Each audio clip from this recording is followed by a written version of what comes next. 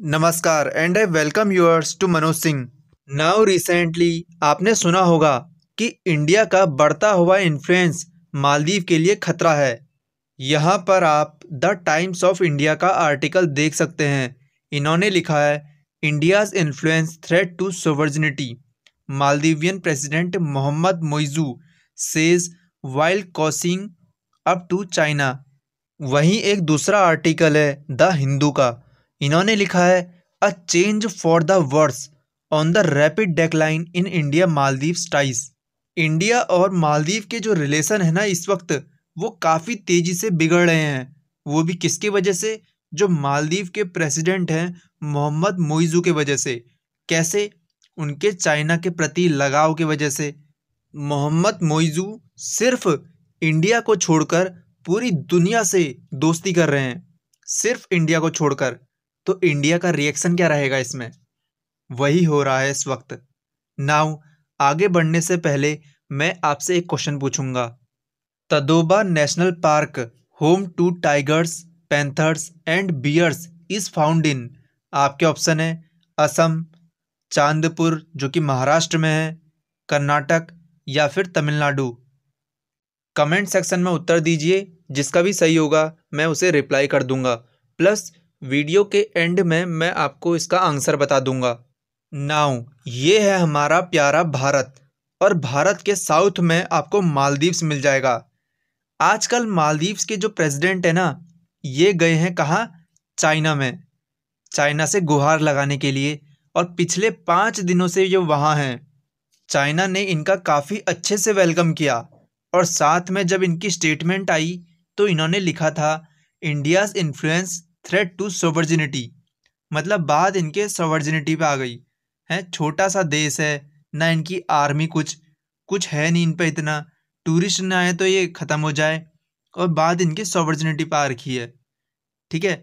Maldivian president Mohamed Muizzu says wild cozying up to China अच्छा आप में से कितनों को ये नहीं पता होगा कि कॉसिंग मतलब होता क्या है? ये होता है हाथ मिलाना। जब मालदीव की तरफ़ से ये स्टेटमेंट आया तो वहीं चाइना भी कहाँ पीछे रहता। चाइना के अखबारों में भी ये छपा कि China says firmly opposes external interference in Maldives as Muizzu winds up visit इसका मतलब है कि चाइना भी कह रहा है कि मालदीव्स के जो अंदरूनी मामले हैं, उसमें इंटरफेरेंस मत करे इंडिया, नहीं तो चाइना भी उस कंट्री का अपोज करेगा। अब बात यह आती है कि मोइजू सिर्फ़ इतने काम के लिए ही चाइना गए थे। असली मकसद तो कुछ और होगा। हाँ भाई, असली मकसद था इनका शायद लोन मांगना, शायद।